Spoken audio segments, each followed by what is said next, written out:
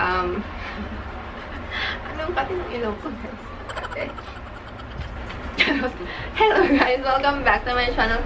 If you're new here, please don't forget to subscribe and click the bell button beside it para ma-notify kayo guys pag mayroon akong bagong uploads. For today's video guys, this is my favorite segment. For me, these looks are very appropriate for school kasi hindi kita yung I mean, hindi ko alam ha, pero 'di ba madaming school ang nagbabawal sa ganyan. Na hindi ko din, hindi ko sure. Baka kasi medyo sexual. I don't know. But, yun, bawal ang sleeveless. Bawal din ang above the knee na mga pambaba. And, I think may mga bawal din na kita ang toes. Bawal din ang may color ang hair, I think. But, of course, my hair doesn't have one. So, in summary, appropriate to sa lahat ng school. For me, if it's not, I mean, ang magagawa. Ay, may pa-off-shoulder pala ako dito, guys. But, you know, yung off-shoulder naman, you can always put it, you know, itaas nyo. Pag may, may pag-guidance, ano dyan, mga counselor, itaas nyo bigla. Tapos, pag wala na. so, ito, guys, kasali na ito doon sa mga looks. And, watch out for this look. I'm trying out a different way how to show this clothes. But, if you don't like it, maybe you can tell me down below and so I can fix that. Kung gusto nyong dire-diretsong lookbook lang and not me talking because you don't want me talking, then fine. Ako, nakikita ko madaming mga silent watcher. guys, guys, support naman dyan. so, yan guys, um, we will go to the video now.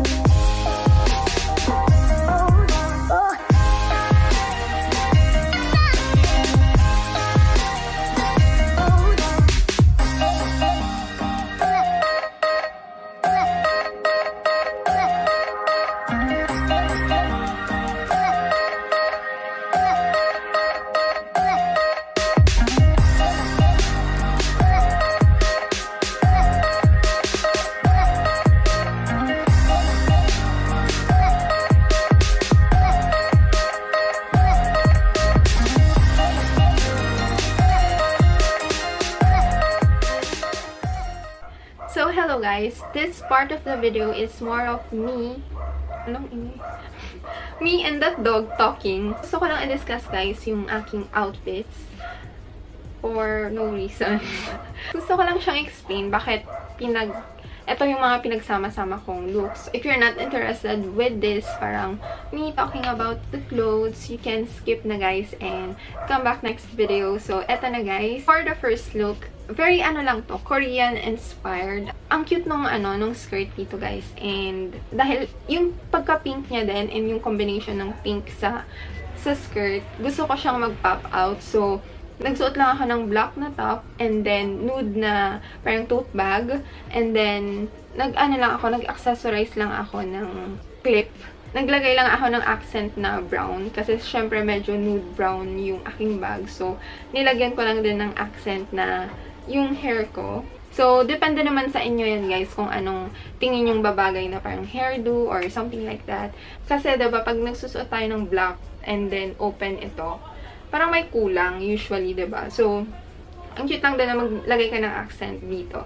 So, guys, yung accessory ko lang is gold cause I'm a gold girl. And then, for the shoes, my best friend, my rubber shoes. Kasi sa lahat ng look siguro, guys, babagay ang rubber shoes na white. So, yun lang yung ginamit ko. And, para din, yung center of attention, pumunta kay skirt. Kasi siya lang yung colorful sa buong look. So, that's it for the first look. So guys, for our second look, which is very basic for me kasi pink top lang siya and then pants and then heels. I mean, dito guys, nag-heels ako kasi, di ba, there are those days na gusto mo lang maging... I can't explain. I mean, you want to feel sexy. You want to feel sexy you want to feel sexy. For me kasi, nakaka... For me lang, personally, I feel sexy when I wear heels. And there are those days, guys. I mean, I don't know. If you want to feel sexy din naman na you don't want to show na super nag-effort ka. Ayan. Heels and then pants and then pink top lang. But guys, bawal ang pink top. So, nagsuot lang din ako ng t-shirt na mesh. So, para maisuot ko pa rin si tank top. But, you know, you're not still showing up too much skin at hindi ka mapapatawag sa kailan. So, and of course, ang ating necklace kasi medyo plain-plain ng ating top at the time. So, you get it. As for my hairdo, hindi ko sure kung ano yung iniisip ko nung nung sinut ko to. But I mean, it works. Diba? And as for the bag naman dito, guys, syempre nakita nyo naman very um, neutral ng aking mga colors. So, nag gumamit lang din ako ng tote bag na medyo colorful para lang may color naman sa aking look na to.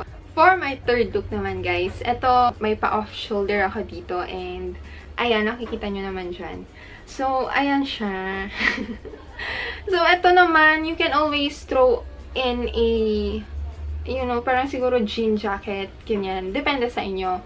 For me, I can always wear it up pag merong um, maninita. so, ayan. And then, yung aking ano lang pambaba is a very nude color na, ano ba yung term dito, guys?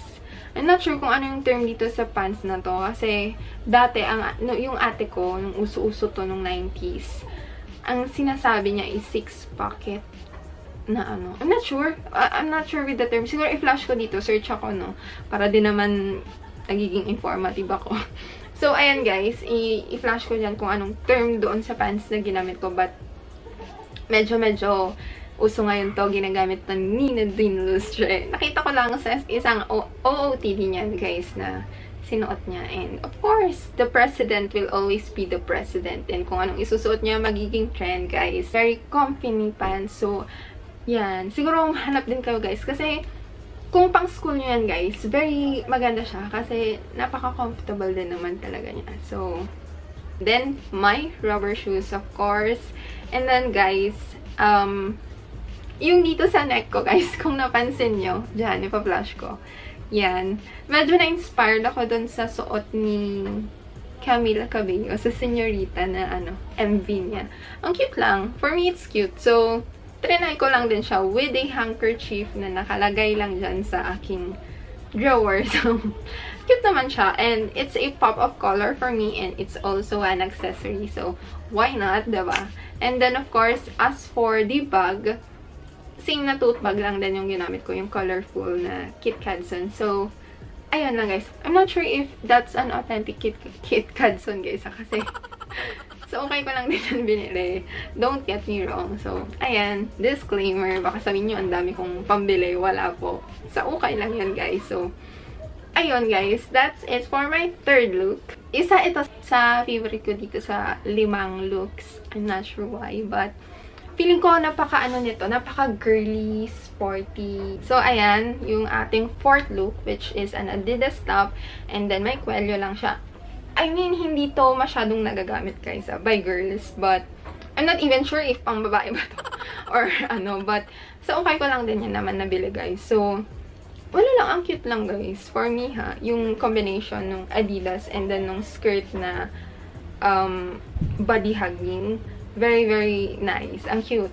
Kasi high-waisted yung aking skirt dito as you can see naman. So, ayan, blue and then yung, kaya ko rin pinair itong skirt na to guys. Not only because it's a body hugging skirt. Kasi, yung color din niya guys, parang hindi din parang ma-overpower yung color ng aking top, which is blue, which is very cute na mag-pop out. For me, mahilig ako doon guys, if hindi pa nahalata. Gusto ko pag may color ako sa damit, yun yung nagpa-pop out. So, ayun. Aking accessories naman, halata nyo naman na parang naging neutral lang talaga siya. Brown na, ano, scarf na tinali ko lang sa aking hair para may something-something girlish pa rin siya.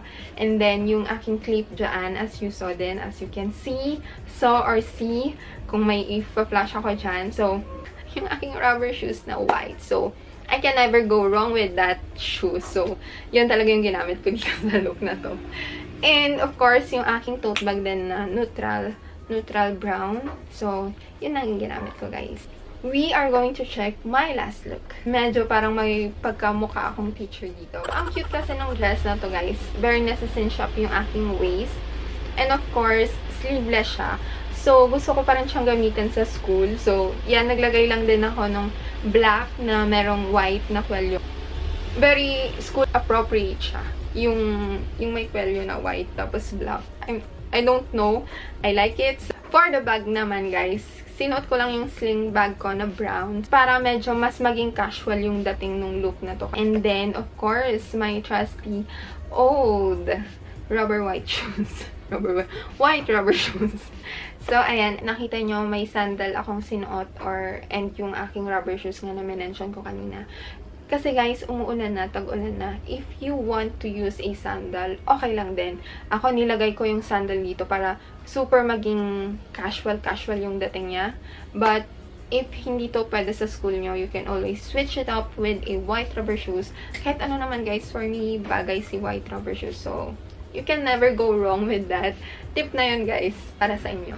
Para lang din may konting-konting metal glitz na ano, yung clip ko dyan, as you can see, yan, pa-flash ko dyan. Yan yung ginamit ko para medyo may balance lang ng konti yung aking look. So, that's it guys. If you're not yet subscribed, please don't forget to subscribe and click the bell button beside it. And of course, ayan.